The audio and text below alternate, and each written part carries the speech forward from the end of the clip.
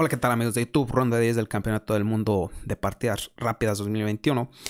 Y vamos a ver la partida entre el gran maestro uzbeco Nodirbek Abdusaturov contra el campeón del mundo Magnus Carlsen. Como podemos ver aquí en la tabla de posiciones previa a esta ronda 10, teníamos ahí a Magnus Carlsen en la cima del torneo, líder en solitario, con 7 y medio. Tenemos también ahí a este chico Nodirbek Abdusaturov con 7 puntos en segundo lugar, empatado con Alexander Grishuk y Yane Pomiachi. Y ya varios jugadores con 6 y medio, entre ellos Duda, Yobaba, Panfores, Firuzja, Hikaru Nakamura, Karuana, Cheparinov, Ovanisian, Pasemamin. Y ya con 6 algunos otros, ¿no? Timur Gareev, Boris Gelfand, Hans Mok, Andrei Volokitin, Leonardo Alexenko Kirill, y Vladimir Fedoseyev. Sin más, vamos a ver qué pasó en la partida Abdusaturov de blancas, Magnus de negras. El mismo juego es 15 más 10. Y abre con C4 aquí Abdusaturov. Tenemos la apertura inglesa, caballo F6, todavía no definiendo un movimiento de peón ahí por parte de Carlsen. Un orden de jugadas flexible y con caballo F6 contra la inglesa. Incluso aquí el blanco puede todavía transponer a posiciones de peón de dama con la jugada de 4. Caballo C3. Y ahora sí ya define Magnus Carlsen E5, ya evita la jugada de 4 del blanco. Caballo F3 tocando el peón en E5. Y aquí la jugada E4 por parte del negro sería todavía prematura. Porque tras la jugada caballo G5 vemos que existiría un problema con ese peón en E4, ¿no? D5 no se puede por C por D y después se cae el peón. Así que si intentas algo como dama E7 para sostener el peón, pues tras dama C2 perderías el peón de todas formas. Por eso es que tras caballo F3 Magnus juega simplemente caballo C6 sosteniendo ese peón. E4 y alfil B4. Amenaza comer en C3, comer en E4, así que el blanco simplemente sostiene. D6 y A3. Ya le preguntes el alfil qué quiere hacer, si quiere comer en C3 ya directamente. Pero Magnus intenta hacer uso del agujero en la casilla en D4 e4 ganando más espacio. Y alfil b6 de Magnus Carlsen. Caballo a4 intentando cargarse ahora sí hacia alfil. Es verdad que le da la posibilidad de venir a d4, pero tras caballo por, caballo por y alfil b2, pues parece que no habría ningún problema para el blanco, ¿no? Estaría luchando muy bien contra esa pieza centralizada en d4. Así que tras caballo a4, Magnus ya voluntariamente entrega ese alfil, juega alfil g4 que tiene ideas estratégicas de eliminar el caballo en F3, uno de los defensores de la casilla en D4, para después ocuparla con una pieza menor, por ahí con caballo o alfil. Eh, Nodirberg se come ese alfil A por B y alfil B2. No logra llegar a tiempo para controlar la casilla de 4. Y aquí alfil por F3. Vean qué jugada tan instructiva de Magnus Carlsen. Alfil por F3 directamente sin permitir alfil 2. La razón para capturar de inmediato se debe a que Magnus intenta atraer la dama hacia F3 y que no sea un alfil el que esté en esa casilla para que cuando logre la maniobra caballo de 7, caballo F8, caballo de 6 hacia D4, ganarle un tiempo a la dama y él sabe que ese alfil de G4 lo va a entregar de todas formas, ¿no? Entonces la intención es simplemente, ¿no? Como les digo, ganar un tiempo a esa dama en F3. Come de dama, caballo de 7, ahí viene con su maniobra para controlar la casilla de 4. G3 para sacar el alfil por H3, también por G2, pero más que nada por H3, ¿no? Para que cuando este caballo venga a F8, quizás puede hasta comer ahí, puede considerar, ¿no? Comer en E6 y de esta forma luchar por el control de la casilla en D4. Dama F6.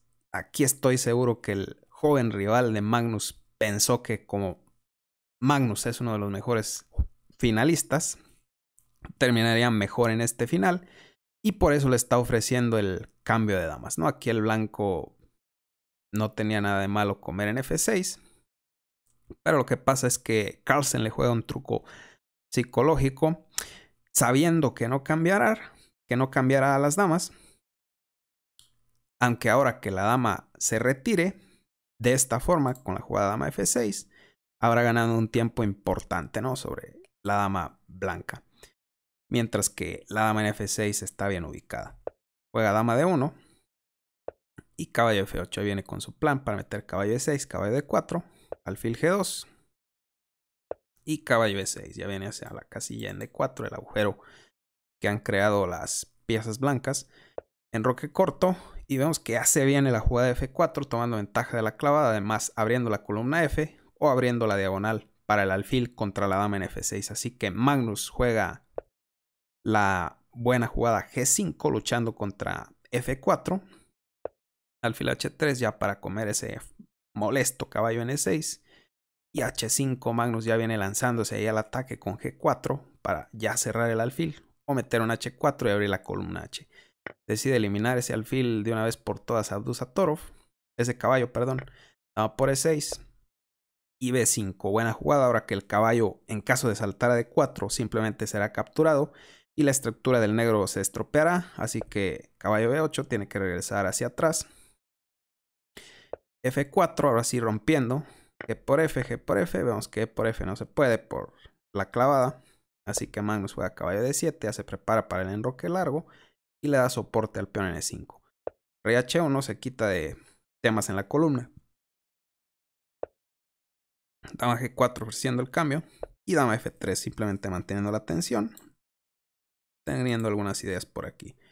Magnus decide jugar F6 para recapturar en E5 de peón quizás. Aunque real, realmente de peón no se podría, ¿no? Porque entran en F7 quizás de caballo para darle más estabilidad a ese caballo en E5. Dame 3, ahora declinando el cambio. Enroque largo ahora sí de Magnus Carlsen. Y F5 cierra la posición de una vez por todas. H4 se viene un H3 muy peligroso quitándole una de las casillas de escape importante. Además pudiera coordinar con dama y peón sobre la casilla en G2. Torre G1 echando la dama de esa peligrosa ubicación. Dama H5, torre G6, empieza a intentar doblar las torres en la columna G. Magnus de inmediato lucha por el control de la columna. Torre G1, se produce el cambio, decide comer de peón para crear un peón pasado. Torre G8 ahora hay presión sobre el peón.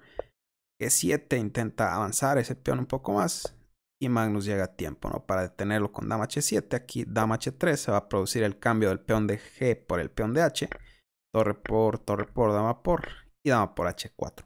Caballo c5 ahora está tocando en d3, pero aquí Abdusaturov lo ignora con la jugada alfil c1, porque si el negro se come ese peón, pues se deja absolutamente todo. Tras la jugada dama h3 es un doble sobre el rey y el caballo, se perdería pieza.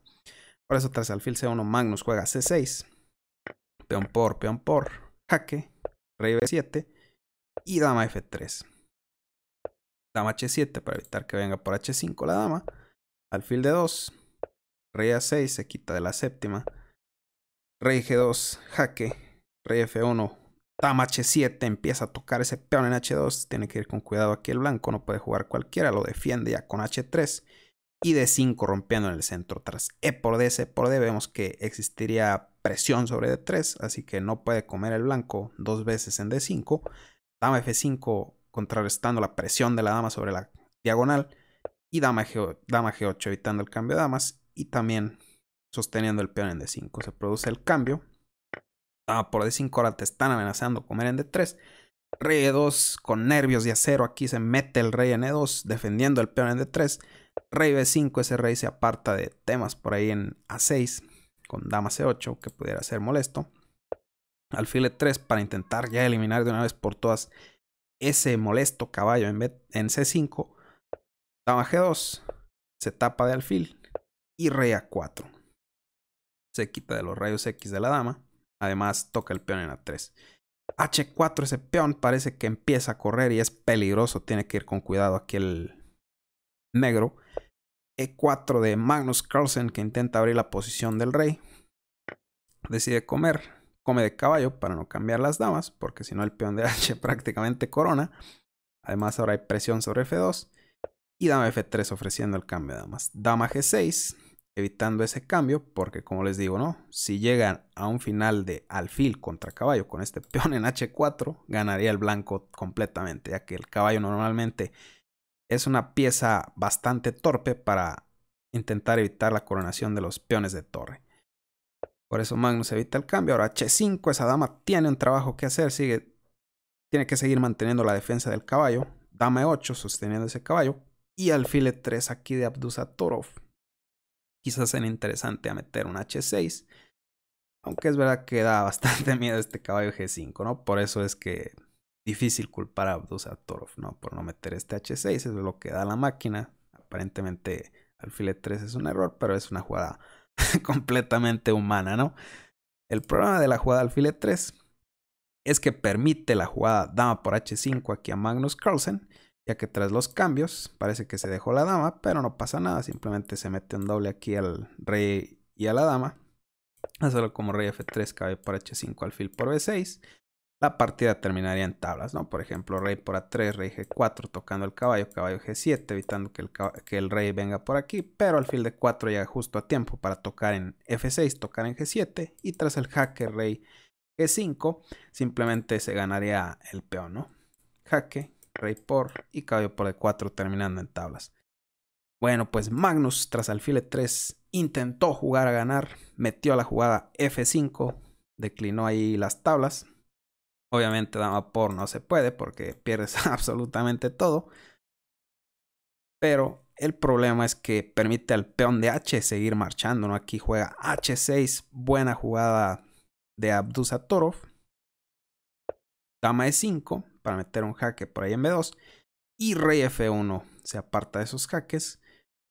Dama de 5, ahora la amenaza es caballo de 2, así que no me vayan a jugar cualquiera aquí como H7 porque te dejas absolutamente todo tras la jugada caballo de 2, perdiendo la dama.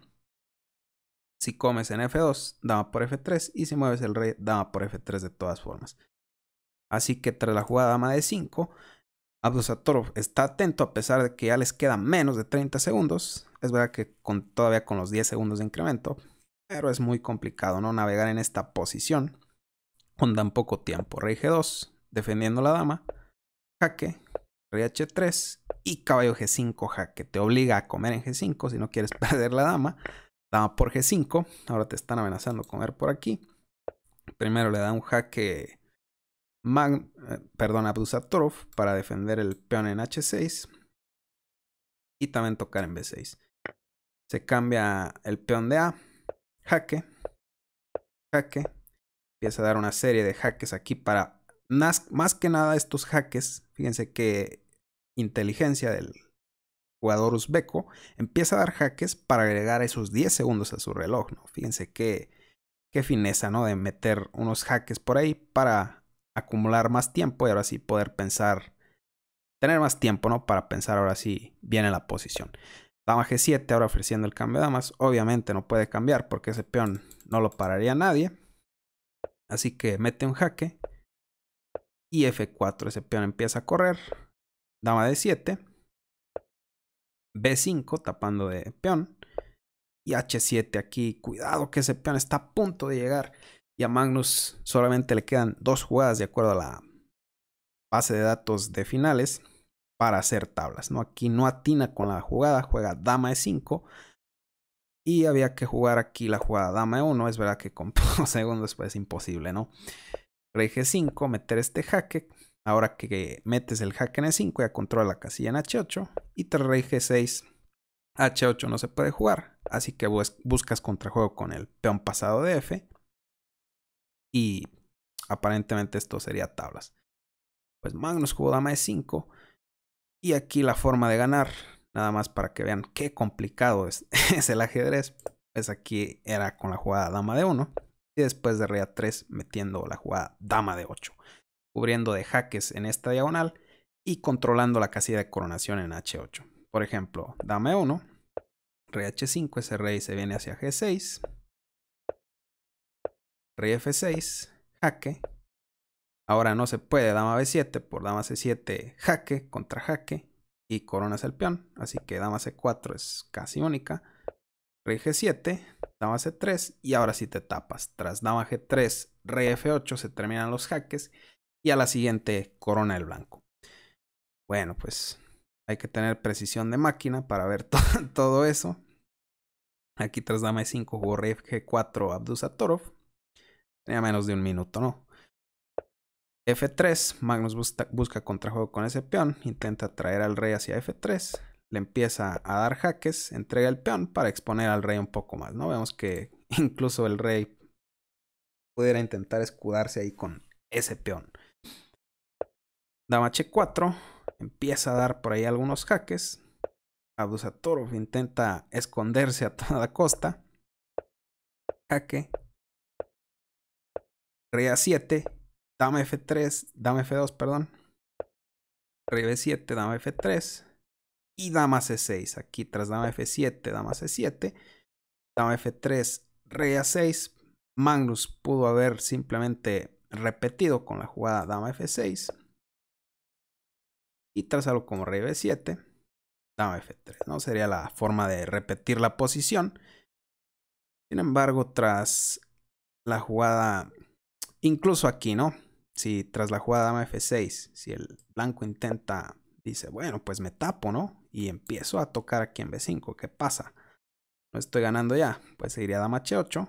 Es verdad que el peón de B5 se cae con jaque, pero tras la jugada rey A3, y en caso de que el blanco empiece a dar jaques, Vemos que existe el jaque en B8 y ahora que el rey está súper expuesto, pues no le va a dar ni un respiro a ese rey el negro, ¿no? Aquí va a empezar a dar jaques. Rey C3, parece que el rey llega a seguridad. Parece que hay peligrosas ideas de mate por aquí. Pero llega tiempo aquí el negro para meter el jaque en C5, incomodar al rey. Y en caso de dama C3, dama F5 jaque, ahora hay un doble por ahí. Es verdad que bueno, aquí se intenta tapar, pues simplemente repites. Así que tras dama F5, si el blanco intenta, dice, bueno, pues juego rey C1, ¿no? No puedes comer en H7 porque te pego mata en B2. Pero sí que tienes la intermedia dama B1 y tras rey D2, dama por H7, logrando las tablas. Muy complicado, ¿no? Por ahí esa forma, pero seguramente Magnus ya había visto eso. Yo creo que esta línea sí que la había visto ya. Bueno, tras rey A6, Magnus decidió embarcarse en la jugada dama 8, decidió no repetir, intentó seguir jugando a ganar increíblemente aquí. Rey B6 y dama H8. Esto sigue siendo tablas, de acuerdo a la base de datos. Jaque, rey A3, jaque y rey A2. Otra vez aquí me indica la base de datos que la jugada rey B2 era la jugada que hacía tablas. Increíblemente, tras rey A2 gana el blanco. Juega rey c5 Abdusatorov. La jugada que ganaba era dama g6, pero era súper complicado, ¿no? La amenaza es dama g8, jaque, coronando otra dama, ¿no? Pero aquí el negro pudiera dar un jaque. Parece que no gana nada el blanco. Parece que esta posición no es ganadora. Pero como podemos ver en esta línea, el rey termina escapándose de los jaques. Dama b7. Vemos que la dama sigue controlando H8. Dama F7, dama C7. Porque tienes que mantener la defensa del peón en H7. Así que tras dama C7, jaque. El negro parece que sigue dando jaques. Parece que el rey no tiene forma de escudarse. Siguen los jaques por ahí molestos. Dama H8. Y aquí dama 7, ¿no? Es, sería la jugada ganadora. Se amenaza un jaque a la descubierta, además comiendo el peón. Tras algo como dama c3, puede simplemente comer en b5, ganando el peón y posteriormente con una precisión de máquina ganando la partida, ¿no? Es increíble, ¿no? Esta línea impresionante. Abdusator jugó rey c5, no jugó dama g6. Con poco tiempo era imposible. B4 de Magnus Carlsen, ahora sí la jugada perdedora y a Magnus ya con un segundo en su reloj termina por no encontrar la jugada que hacía tablas aquí tras la jugada rey c5 había que jugar dama c8 para lograr las tablas empezando a dar jaques contra el rey súper complicado aquí Magnus más que nada intentó no perder por tiempo porque ya le quedaba un segundo y metió la jugada b4 y ahora sí Abdusaturov no perdona dama de 2 jaque rey a1 y dama de 4 jaque forzando el cambio de damas ¿Qué pasa si Magnus hubiera intentado como rey a3? Entonces se diría dama por b4, se gana el peón, jaque, dama e4 jaque, después de unos jaques muy precisos, logras jugar rey c4. Parece que te empiezan a dar jaques y que no se van a terminar. Pero ahora se amenaza mate por ahí, así que hay que incomodar al rey. Rey de 2. Parece que empieza a haber muchos jaques.